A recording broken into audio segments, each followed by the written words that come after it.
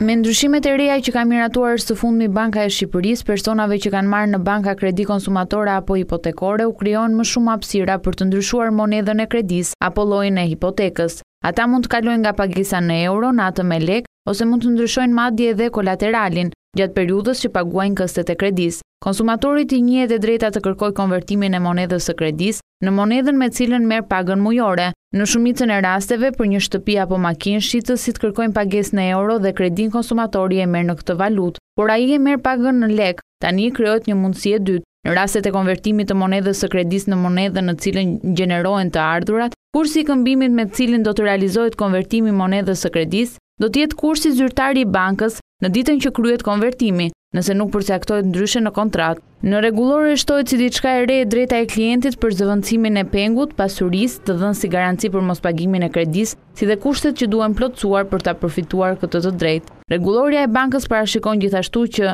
në rastet e kredive me norma të ndryshueshme interesi, indeksi orientues që përdoret në llogaritjen e normës së interesit duhet të jetë i qartë, i përdorshëm, objektiv dhe i verifikueshëm në çdo rast nga palët e kontratës së kredisë. Kërkesat e reja të parashikuara në këtë vendim do të zbatohen vetëm për kontratat e kredisë konsumatore dhe kredisë hipotekore, të cilat do të lidhen pas hyrjes në fuqi të këtij vendimi.